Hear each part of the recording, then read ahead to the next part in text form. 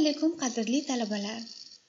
Bugun sizlar bilan birgalikda Mirzo Ulug'bek nomidagi O'zbekiston Milliy universiteti Xorijiy filologiya fakulteti Ingliz filologiyasi kafedrasi o'qituvchisi Ismoilova Nurxon adhamjonovna Bugun sizlar bilan birgalikda ikkinchi bosqich talabalari uchun maxsus amaliy tarjima ko'nikmalari fanidan tarjima metodlari mavzusida video dars olib boramiz. Video darsimiz ingliz tilida bo'lganligi uchun keling uni ingliz tilida davom ettiramiz. So let's start our lesson. This plan outlines our lessons map. At first, we will talk about lexical transformation in translation. Then, the main causes of lexical transformation. Then, we will see it with examples. Then, we will talk about varieties of lexical transformation with its examples. Okay. Um, at first, we were, when we are uh, talking about translation, um, it means to transfer a form uh, from one language to another with different uh, letters that translate that copies the form by the letters of the target language or changes it by making transformations. Um, in order to transfer a form from one language to another, translator uses different translating methods or techniques including lexical transformation. But when translator translators uh, one form from source language to the target language, um, may use mechanical copying or transfer to source language words and transliteration. Transcription is the copying the sound form of the source language word to the target language.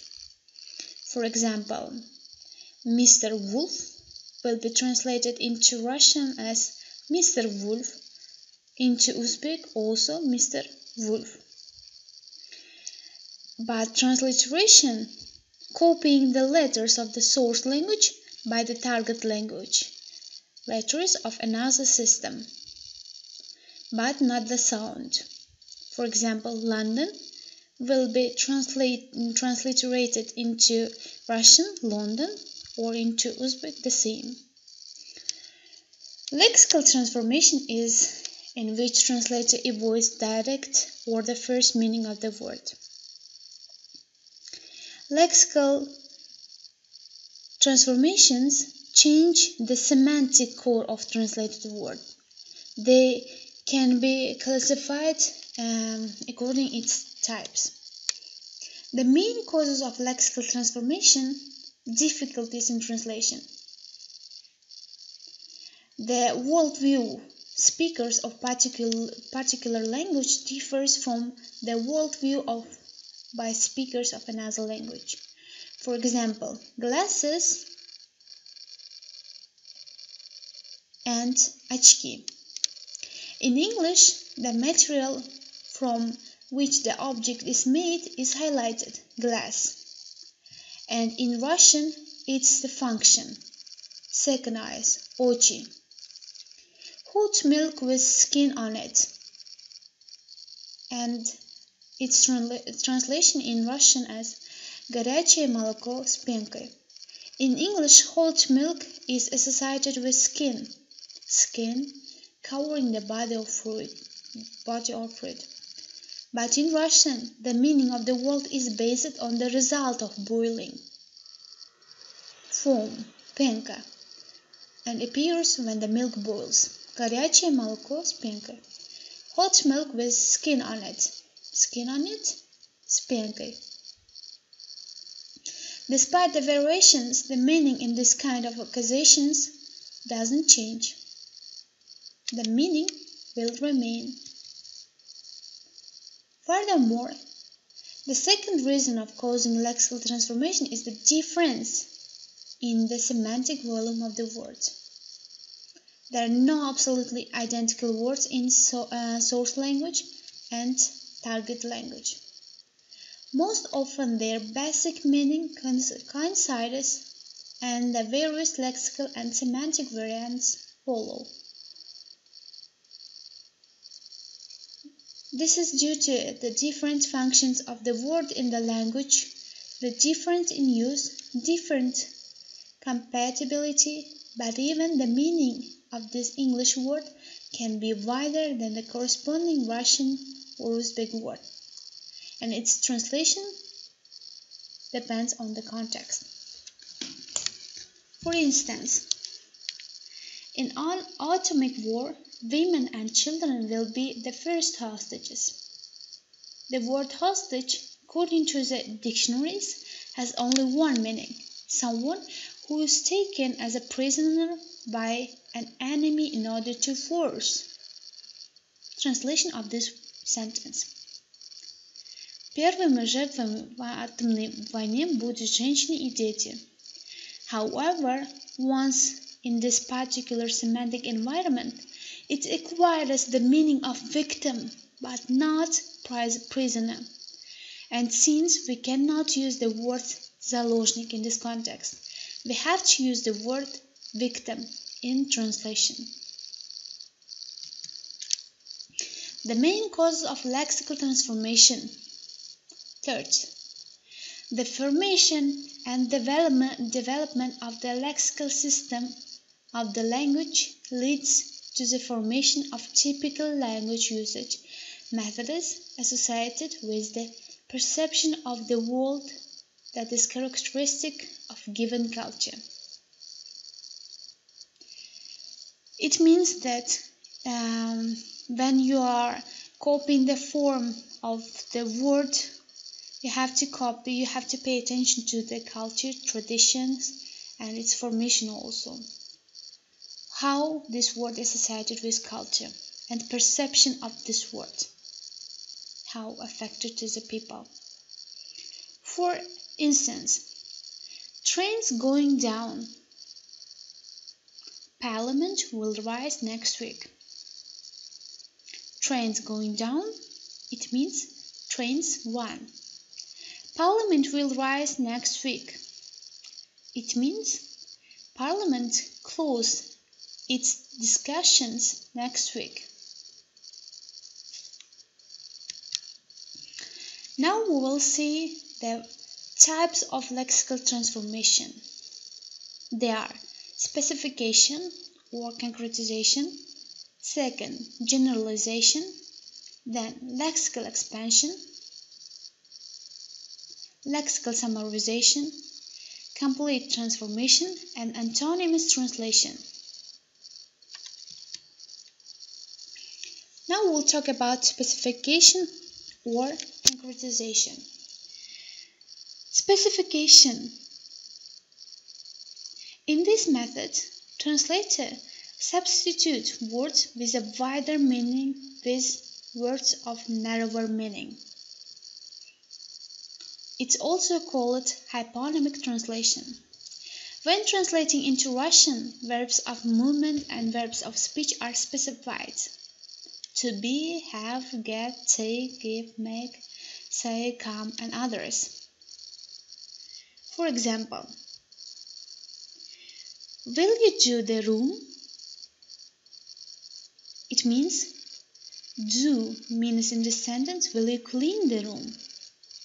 Or will you tidy up the room?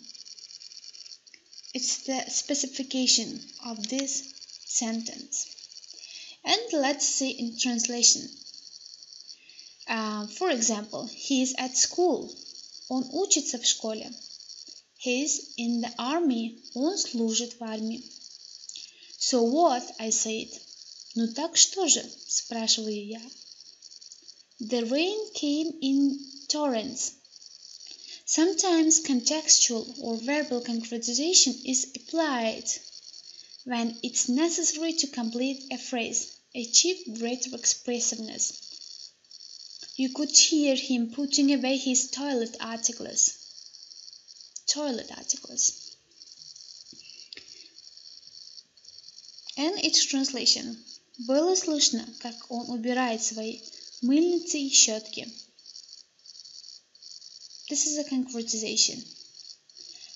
To sum up, concretization means specification, replacement of words or phrase with a broader meaning of words or phrase with a narrower meaning.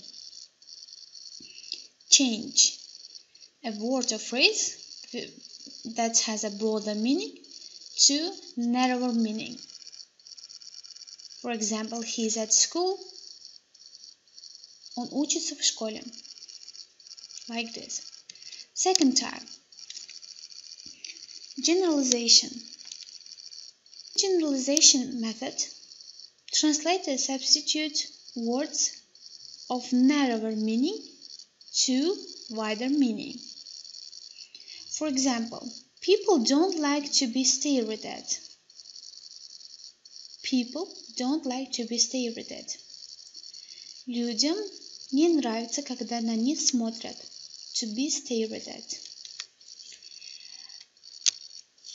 Due to the fact the words of English language are more abstract in nature than similar Russian words, when translating from English into Russian, Generalization is used much less than concretization.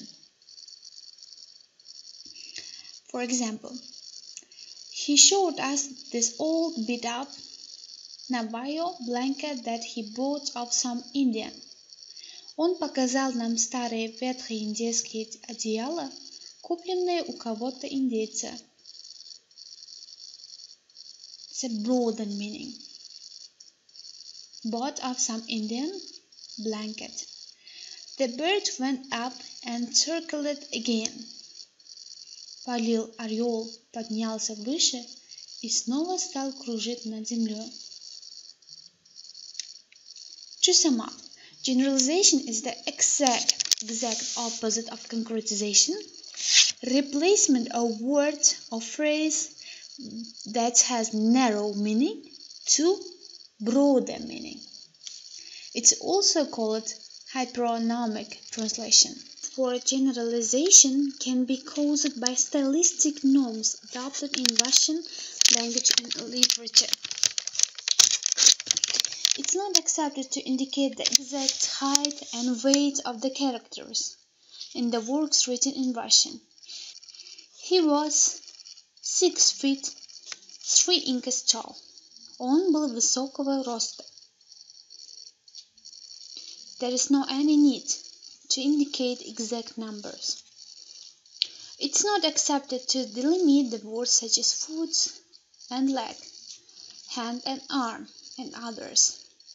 When translating into Russian, strong arms, сильные руки, golden hands, золотые руки, wrist watch, наручные часы.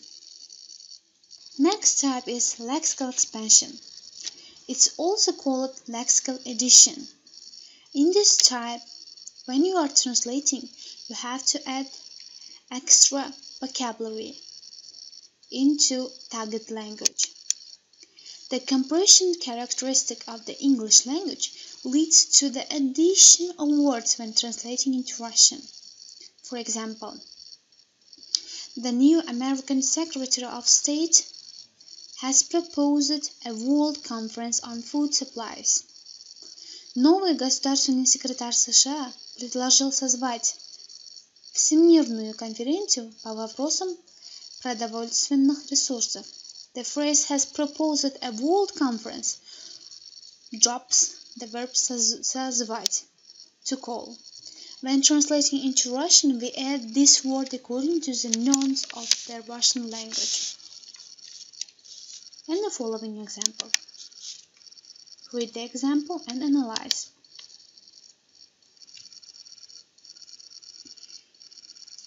Or the problems of various industries. Проблемы различных отраслей промышленности. English word industry in the plural form industries, while the Russian noun промышленность is collective and is used only in singular but if it's necessary to preserve the plural in the translation into Russian, then the translator cannot avoid entering the additional word otras In English, the usage of combination of two or more words is a common meaning without changing them in widespread. Gun license, job offer, girl next door. Summarization is the exact opposite of concretization.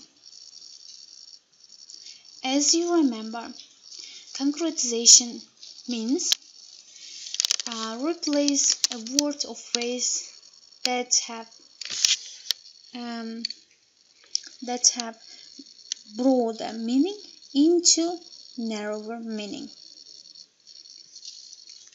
This is the opposition of concretization. For example, dropping the word-word phrase which doesn't play significant role in conveying an idea in translation. The most traditional example is the use of period synonyms, often used in all writing styles of English language. In the Russian language, it doesn't occur. In translation, uh, one of the synonyms is not repeated, and two words are replaced by one. Brave and fearless, храбрый, just and equitable treatment, справедливое отношение. He was breathless and dead, он был мертв. By violence and force, насильственным путем, normal and regular, обычный.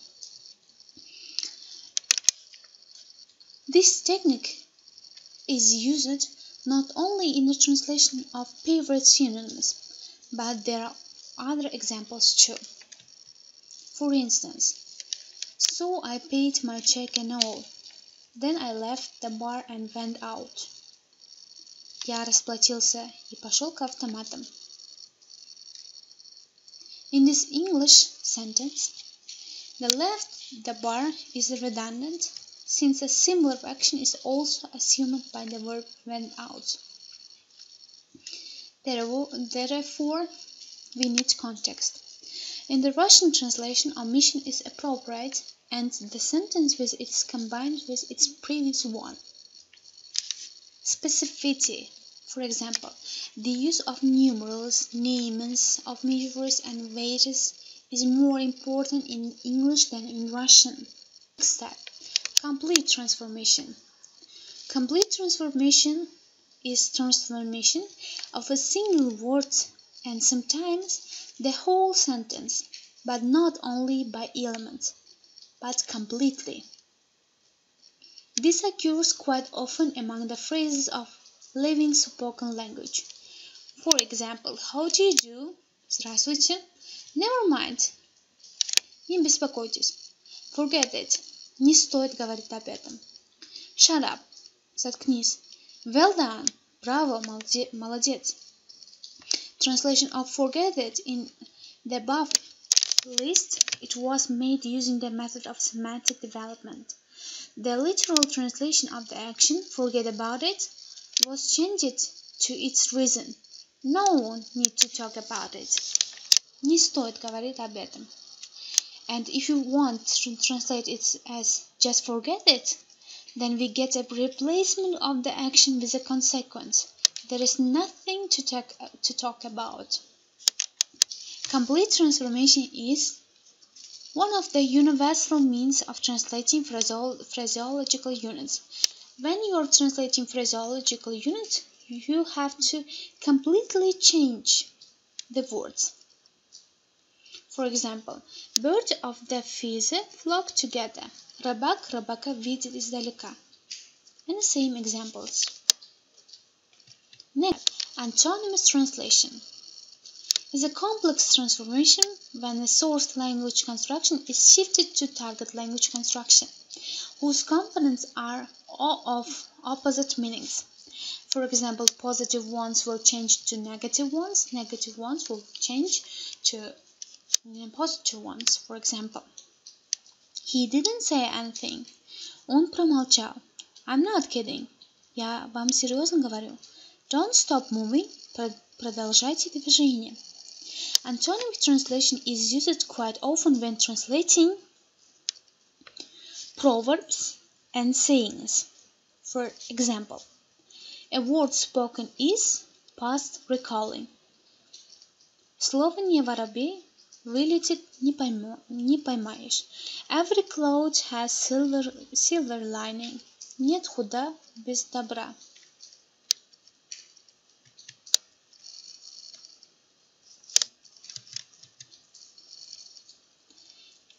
That's all for today.